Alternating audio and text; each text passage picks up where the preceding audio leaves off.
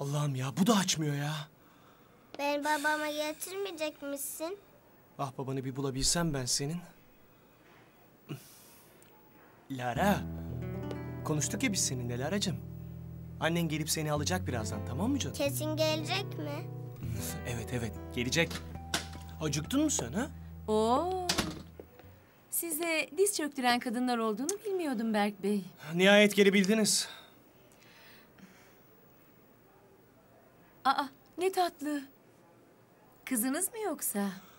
Hayır değil. Hem olsa bile sana ne? Yok. Zaten hem bu kadar güzel bir kız senin olamaz. Pardon, sizin yani Berk Bey. Abimler döndü mü haberin var mı? Hayır. Ayrıca bu Lara. Özel bir misafirimiz. Öyle mi? Memnun oldum Lara. Ben de Didem. İyi iyi. Anlaştığınıza sevindim. Çünkü birkaç saat birlikte olacaksınız. Tamam mı? Demek Paris'e gittin. Çok şanslıymuşsun Lara. Ben de çok gitmek isterdim Paris'e. Ben istemedim. Babam zorla Serap teyzemle gönderdi. Ama Berk abi gelip aldı beni. Niye annen gelmedi? O nerede? Burada babam bizim görüşmemizi istemedi. Baban nerede peki? Berk abi dedi ki babam Gümüş ablamı kaçırmış. O da Paris'e Gümüş ablamı bulmaya gelmiş. Tamam güzelim.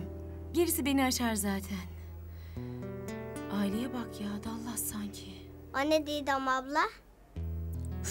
Boş versen bu mevzuları. Hadi gel biz dondurma yemeye gidelim. Gel. Gel gel gel. Tamam abi.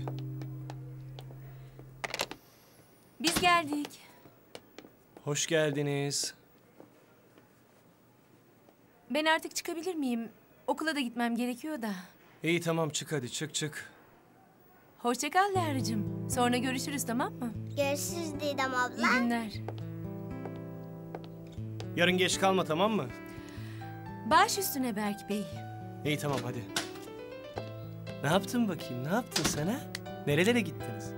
Bir şeyler yedin mi? Kesin bir şey unuttu. Yine ne var Didem?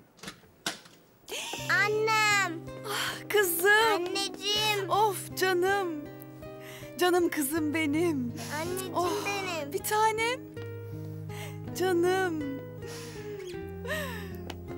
Seni çok özledim bebeğim. Ben de seni çok özledim Ay, anneciğim. canım, canım. Oh. Berk Bey, Merhaba. Evet benim. Nasılsınız? sayenizde çok iyiyim. Çok teşekkür ederim. Mehmet Bey ve Gümüş Hanım hakkını nasıl ödeyeceğim bilemiyorum. Estağfurullah. Ee, şey yanlış anlamayın ama benim acilen hastaneye geçmem lazım. Ee, aslında ben de Gümüş Hanım'ı görmek istiyorum. Peki o zaman birlikte çıkalım. Hadi Lara. Anne babama mı gidiyoruz?